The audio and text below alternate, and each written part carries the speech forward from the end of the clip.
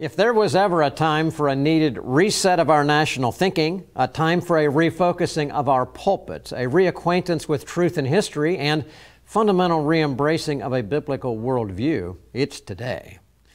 Hello and welcome to Stand in the Gap. I'm Sam Rohrer. I'm going to be joined in this program again by Pastor Isaac Crockett as we begin a new series of programs that we're calling 10 Principles to National Renewal.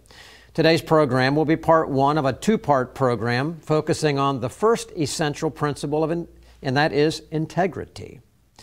Now, as you look around our nation and this world, do you not wonder what in the world is happening? Do you wonder how law and justice can be so quickly distorted or how truth can be so quickly trampled? Do you wonder how those things, considered a generation ago as evil and immoral, can now be promoted from the highest positions of civil and church leadership? Do you wonder if there's a reason for this and a remedy to it? Well, if you answered yes to one or all of most questions, you're not alone. But are we without direction? Are we without a roadmap for renewal? The answer is no. There is hope. And there is a way, but not without God's help and following His plan. Now, over the next weeks, it's our intent to share God's plan for a blessed nation and the foundational principles identified in Scriptures and officially adopted by our nation's founders.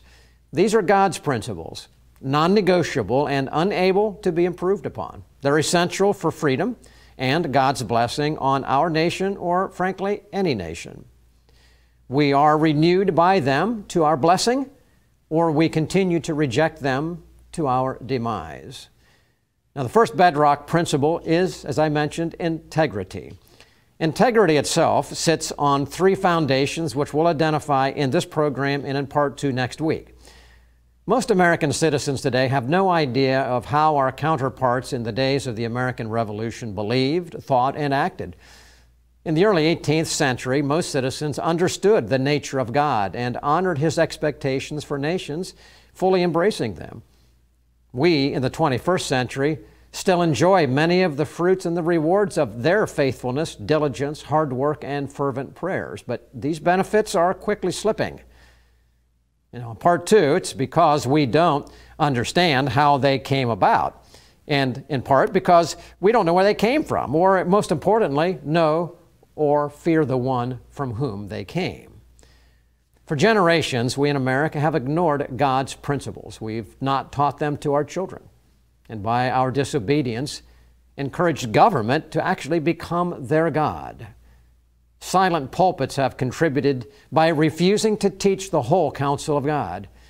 But if, like Gideon's 300 a year, a long time ago, a dedicated corps of spiritual warriors from the community, and we did it now, community to community, from pulpit to pulpit, and from position of elected office to another, if we were all to stand in the gap, identifying, understanding, embracing, and obediently building integrity back into the pillars of society, we can begin and grow once again. And what a magnificent change would occur. And with that introduction, let me welcome and talk right now to Isaac. Isaac, it's great to be with you today. No, no guest. We are the guest. You are the guest. We are the guest.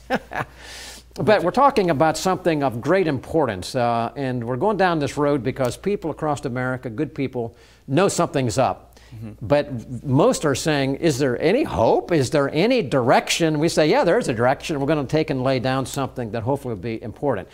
Uh, integrity is where we're going to go today as the first principle. And like we do often, we want to define it. So if you could, define integrity and maybe illustrate it a little bit if you don't mind. Well, you know, Sam, you, you've talked about this recently on our radio program as well, and you went to a passage in the Old Testament, Psalm 25, and the word integrity comes up, in, at least in the King James Version and similar versions in the Old Testament a lot of times.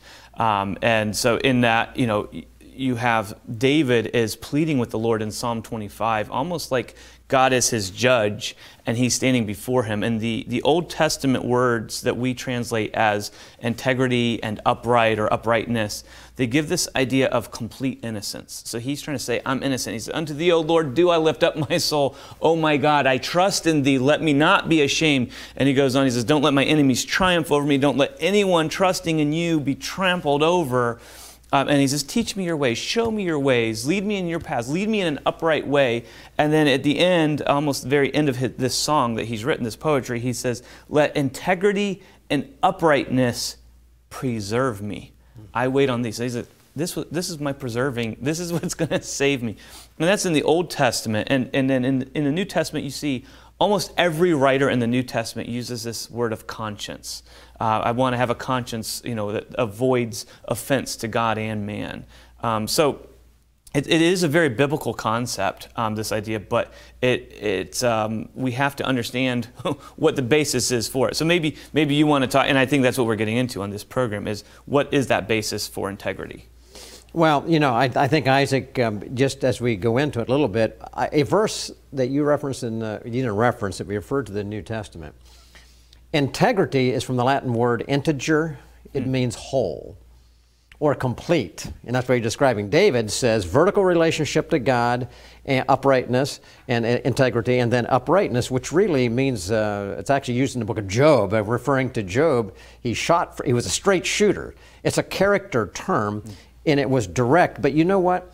Uh, I think Philippians 4 8, the Apostle mm-hmm. Paul talks to the, the, the, Philippian church, and he, and he puts it this way He says, Finally, brethren, whatsoever things are true, honest, just, pure, lovely, whatsoever things are of good report, he lays out the way we should think. Mm-hmm. And I think if we just leave our listeners with this, our viewers right now with this thought, when you, ladies and gentlemen, have integrity, a person of integrity, you are a person of character, but you are complete when that vertical relationship with God is right, your heart, as David said, and that starts how we think and how we think in our heart, but then it's how we act. So the way we act comes from the way we think, starts with God vertically, extends horizontally, and that, in effect, is the matter of integrity. But you can't start a nation or you can't have an, a family or in any regard without having that foundation.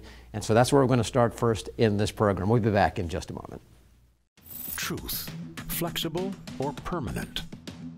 The Bible, ancient history, or powerfully relevant? Culture, a reflection of enlightenment or warning signs? The pastor, commentator, or frontline combatant. Every day, American Pastors Network speaks to these questions where and when they matter. With hundreds of affiliate radio stations nationwide, a website and mobile app screening today's headlines through the twin lenses of the Bible and the Constitution, educating, informing, equipping. This is the American Pastors Network. The time is now to stand in the gap for truth.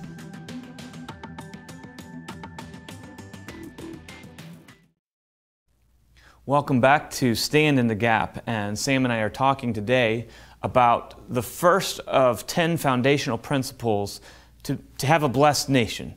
And, you know, very, very beginning of the book of Psalms, it talks about a blessed man and what he does do and what he doesn't do, who he hangs around, and his, his delight is in the law of the Lord. And Sam, throughout the book of Psalms, it's, it's a hymnal, it's poetry, but it's very personal things, very devotional. And that's what I think why so many people are drawn of all the Old Testament books. I think more of us have pages and Psalms worn out from our thumbs turning there because they mean so much to us in a personal way. And, and so we were talking about integrity as this first step in having a blessed nation, having a blessed family, church, whatever. There has to be integrity. And, and you said that integrity, it's not just an understanding. It comes from God. There's this God to man aspect of it, vertical aspect, but you said it has to be then lived out, just like Jesus showed us how to live. Um, and you said that that has to be the foundation of what we do. So that brings us to a passage in the Psalm, Psalm 121, uh, right from um, uh, the very beginning. It talks about you know looking to the Lord uh, for for what we need. But uh, David actually says, "Except the Lord build the house, they labor in vain that build it. Except the Lord keep the city." The watchman, you know, gets up to, to look out in vain because if you're not trusting in the Lord, um, that's foundational. Why when we look at our history, the foundation, the founding of America, our founding fathers, we sometimes talk about, um, why did they think this was necessary, and to what extent, what impact did it, this have on our early national founders? Well, Isaac, you know, it's uh, we could spend a long time on that. The history is just uh, so amazing when you begin to talk about um, um, those who came before and laid down the foundations of America before it was America. And you know, when I think that, I think back of a couple of entities. There were uh, where we are in this nation did not occur overnight. Mm. It was the process of many people in their time laying down a common foundation. We're talking about foundational principles, but they understood these things. And again, we talk about from a biblical worldview. Everything we're talking about, and our founders understood, and I'll explain just a few of them right now, um, fully understood it as a biblical view mm-hmm. of the world. So when we talk about a biblical worldview today, we're talking about not something new, but it's the way God always wanted people uh, to, to live. And I think of the, I think of the pilgrims, uh, Isaac, as one example.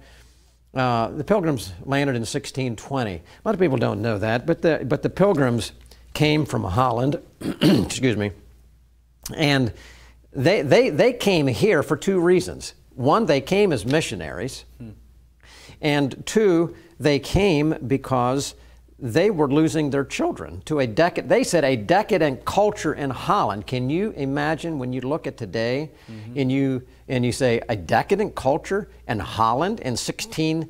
Uh, the answer was yes. And the father said, we better, we better do something while we still have the strength to do it. That was their motivation to come. And when they came, as, a de- as an indication, the Mayflower Compact, our first, dec- our first document of law, laid out their idea. It's that they started out by saying, In the name of God, amen. Hmm. And then they said, having undertaken for the glory of God and the advancement of the Christian faith. That, then that's it. That was the pilgrims. And when they came, the first thing they did, they went down on their knees and they thanked God, and their whole history was all about them in a right relationship to God, even thinking that when it didn't rain and their crops were bad, that it was because of their relationship to God had gotten off base and they got down and they repented. Everything was driven by the relationship to God and then how they acted. Well, the Puritans kind came along about 10 years later. And uh, Governor John Winthrop then uh, uh, he started the, the, the, the, the colony then but he, he called out in prayer to God at that point, Isaac, and he said that my God, he envisioned this new nation just starting, that, I mean, it wasn't even a nation at that point, as being a shining city on a hill from which this light would go across the around the world. This light of what? The light of the gospel that the pilgrims had brought as missionaries to the Indians in raising their children in the fear of God. He came along as a governor and said, All right, shining city in the hill. Ronald Reagan picked up that comment, mm-hmm. we know, and made that even more popular. But then I go to William Penn. William Penn of 1692, right here in Pennsylvania, where we're sitting, um, laid down his frame of government, he called in 1692, and he laid out the principles. Actually, Isaac, the principles we're going to be elucidating here in these programs actually were written down by William Penn, right from Scripture. But William Penn said, you know what? Um, I could be a king in Pennsylvania. I don't want to be. I want to set up a, something here that the world would want. And he began what he said was a holy experiment that the whole world would want, wanted to see. And he said, if we lay down the principles of godly government and who and how we are before God and who He is, then we will be able to perhaps enjoy a new nation under God. Mm. So, and then, and then, and then, the, then the, those who came after him built upon, built upon him, Isaac. But you know what? They knew, the point is, they knew who God was. They purposely entertained and cultivated a relationship with God vertically. They acted it out horizontally. So they started with the right place foundation. But I want to come back and ask you this because there are other passages in Scripture, and they were copying. They were copying Israel in the old, is what they were doing, and uh, and they made it very clear about that. But they knew that there was a difference, as we should today, that there's a difference in knowing about God, and actually choosing mm-hmm. to follow God, isn't there? Is there a verse there, a passage yeah, comes and, to mind? and you always um, refer, I shouldn't say always, but you often go to Joshua in the book of Joshua in different parts, but especially at the end there in Joshua 24, where Joshua says, Look, you know, I've, uh, we've tried to do things the way that Moses taught us, but as, as for me and my house, what I have immediate control over, so mm. to speak, we will serve the Lord. And, and you see that the others seem to follow him. It was after the dying off of that generation then that things deteriorated. And so this, this is important, this idea of self-government. And this is one of the things I forget. So many times I look at um, the, when I talk, talk about government, I'm thinking of our civil leaders, civil leadership, church government maybe, um, but sometimes we forget about family government or self government. A lot of times in the Bible, especially in the New Testament, it falls under the word self control. And if we are controlling ourselves, it makes it a whole lot hmm. easier. Uh, if, if, you, you know, when I used to teach uh, in public schools and things, if I have a room of well behaved children, then I don't have to try to control the, the classroom. We can talk about what, what they want. But if every one of the kids wants to go and do their own thing instead of obeying the rules, it's very difficult. And, um, and so we need to have that, that decision I will serve the Lord and uh, the pilgrims you know that was something they did in holland. They had liberty you know as nonconformists they loved england but they didn't have liberty. So they go to holland and it was too much liberty. And they were afraid. So they were teaching their children but then the children would go around other kids and learn all these wicked ways of the world it was interesting um, being in uh, former communist countries preaching in Eastern Europe. They would say similar, similar things. Say, you know, we would rather have communism and persecution. Nothing on the grocery shelves but people packing the churches. Now there's all this stuff in the grocery store. People aren't, and they say, we don't know how to handle this freedom because it wasn't based on biblical morality. So our country was. Let's go back to 1776, our document of independence. How was that impacted by a biblical understanding of, of morality and, and um, well, I, am glad you went there, Isaac, because you know, in reality, the the founders, the 56 signers of the Declaration of Independence, um, of which were Ben Franklin and Thomas Jefferson and many others. Franklin and Jefferson uh, actually referred to William Penn as the founder, as the father of the founders. Hmm. Because he laid down these principles that we're going to be walking through in these next week.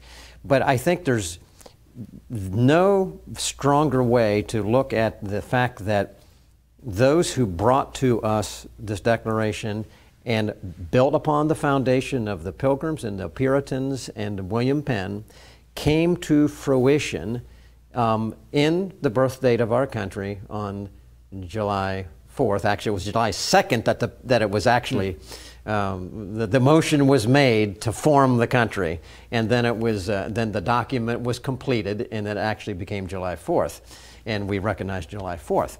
But this is the thing that really makes it remarkable to me. I think 56 signers, Isaac, 29 of them schooled in the Bible. Hmm. Average people. They weren't professional anything. There were some attorneys, there were pastors, there was a broad collection of people. One was a shoemaker, actually. Hmm. So they were, they were common from that perspective, but they were uncommon in that their view of God was unified. Mm. And um, our culture today has sought to eradicate all of this. And if we don't build it back in, that's what we're doing this for, because we need to reacquaint ourselves to what our founders knew. But here are just a couple things. In the preamble of the, Constitu- of the Declaration, do they not appeal to the creator God and of nature and nature's God. The, the God who creates is the one who gives life. They knew. And that gives us life and liberty and the pursuit of uh, hap- happiness or private property. All of those things I said, there is God, God created, God um, uh, established uh, the value of life and these certain basic things, happiness and private property, and and uh, they also laid down in that section about the, the role of government, that governments are instituted among men, that they should protect these truths. They hold these truths to be so evident. Truths, integrity, independence, freedom, anchored in God. They knew it. They went there. Then they, then they delineated their grievances to the king. Hmm. So that the whole world, they said, so the whole world would know that what they were doing was not a spur of the moment thing, but it was a matter of saying God has laid down how man should be and think and act and how government should work, and it's not happening. And to make it clear where they were, and they knew that except the Lord build the house, as you stated, that they labored in vain that built it, they appealed to the great judge of the universe in the last segment mm-hmm. of the mm-hmm. declaration. And they said to hear the rectitude or the rightness or the purity of their intentions. And Isaac, that brings it right back. And from that day, then we now move to where we are. But our danger today in America is that we have forgotten who God is, we have forgotten our foundations, and the building is falling. And that's the reason for spending time on these as we walk through. But integrity is where it starts the individual, and then it manifests itself into others, and then ultimately an entire nation. So, with that, we'll come back and we'll close and wrap up this part one here in just a moment. Stand in the Gap is produced and recorded in the studios of Lighthouse TV, positively different television.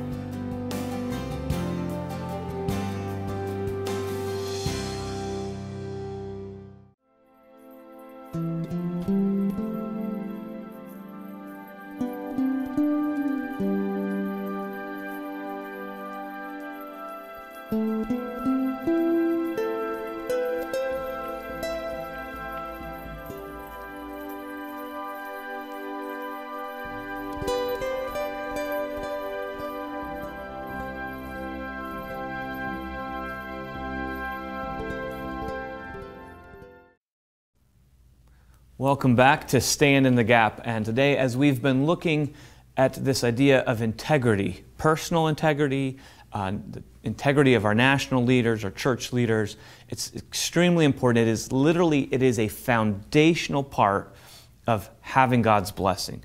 And we talked about, uh, the psalmist talked about, uh, you know, the foundations. And, and uh, when we look at these, Sam, you brought us through the, historically some of the foundations of our founding fathers. We keep using this foundation kind of idea, and, and you know we see buildings collapse if the foundations aren't correct. And uh, Jesus, you know, talks about the foundation on the sand, the guy that builds on that versus a solid rock foundation.